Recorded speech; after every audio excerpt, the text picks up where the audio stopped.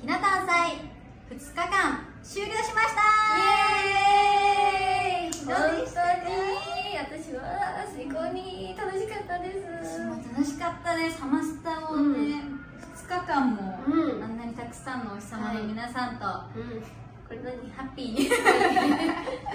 ハッピーに、はい。なんか幸せな空間すぎてうん。なんかみんなでできてよかったなって本当にね心の底から思います、みんなが笑顔だった。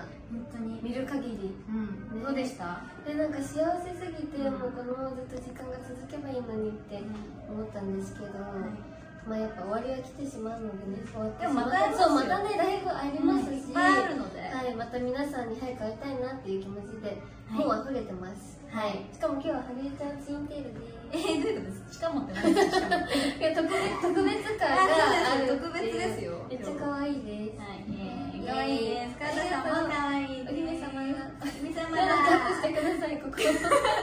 それでは、またお会いしましょう。お会いしましょう